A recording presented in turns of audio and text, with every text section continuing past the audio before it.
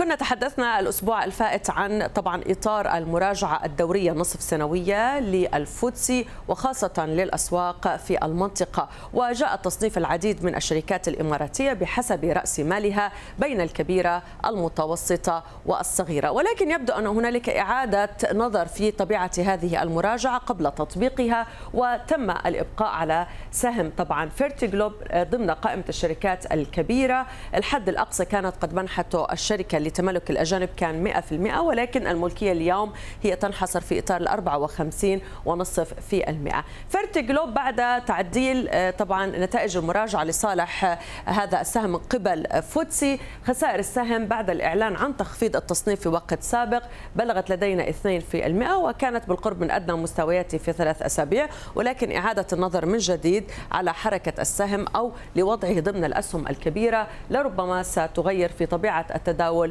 على السهم.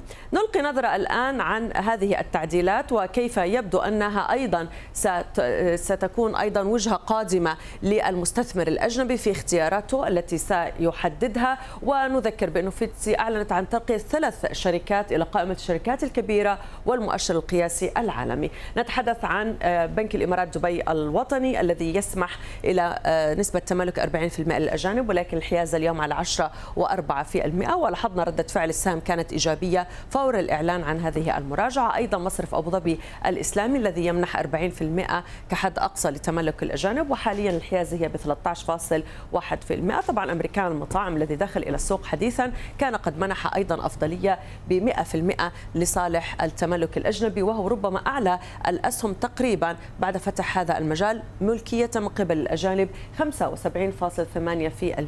الحيازة الحالية. ونذكر بأنه طبعا Fertiglobe كان قد تم تخفيض تصنيفه بالنسبة لرأس المال ثم إعادته إعادة النظر في هذا لربما سنلمس تأثيره على حركة السهم.